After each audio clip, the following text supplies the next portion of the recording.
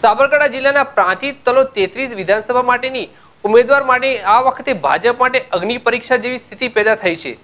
જેમાં સંભવિત પાંચ ઉમેદવારોમાંથી કયા ઉમેદવારને ટિકિટ મળશે?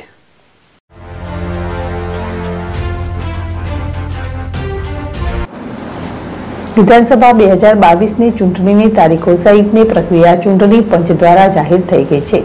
ત્યારે પ્રાંતિજ તલોદ તેત્રીસ વિધાનસભા ચૂંટણીને લઈને આ વખતે ત્રીજો પક્ષ એટલે કે આમ આદમી પાર્ટી પણ મેદાનમાં છે અને પોતે ચૂંટણીમાં જાહેર થાય પહેલા જ આમ આદમી પાર્ટી દ્વારા પાટીદાર યુવા નેતા અલ્પેશ પટેલને ટિકિટ આપીને નામ જાહેર કરી દીધું છે. પણ ભાજપ કોંગ્રેસ દ્વારા હજુ ઉમેદવારો નક્કી કરવામાં આવ્યા નથી. તો ભાજપ પાસે હાલ સંભવિત પાંચ ઉમેદવારો છે. જેમાંથી એકને ટિકિટ મળશે. ત્યારે સૂત્રો દ્વારા મળતી માહિતી મુજબ ભાજપ દ્વારા તારીખ દસમી સાંજ સુધીમાં ભાજપના કુલ પાંચ સંભવિત ઉમેદવારોમાંથી ગમે તે એક ઉમેદવારના નામ ઉપર મોહર લાગી શકે તેમ છે.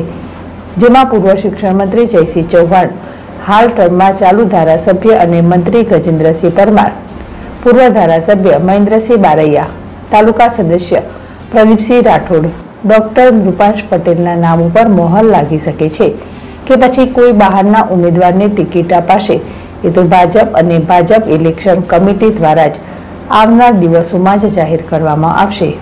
ત્યારે આ વખતે પીઢ નેતા કે પછી યુવાનમાંથી કે પછી બહારથી કોઈ ઉમેદવારને ટિકિટ આપવામાં આવશે, એ તો હવે આવનાર દિવસોમાં જ ખબર પડશે. જ્યારે આ વખતે ભાજપ, કોંગ્રેસ અને આમ આદમી પાર્ટી માટે બે હજાર બાવીસની ચૂંટણી ખરેખર પ્રતિષ્ઠાનો જંગ બની રહેશે.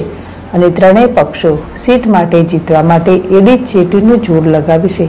તો ભાજપ સીટ જાળવી રાખશે કે પછી કોંગ્રેસ, આમ આદમી પાર્ટી સીટ હાંસલ કરશે? એ તો વિધાનસભા ચૂંટણીના પરિણામ બાદ જ ખબર પડશે. જીલ રાવલ જેડેસ ટીવી, પ્રાંતિજ.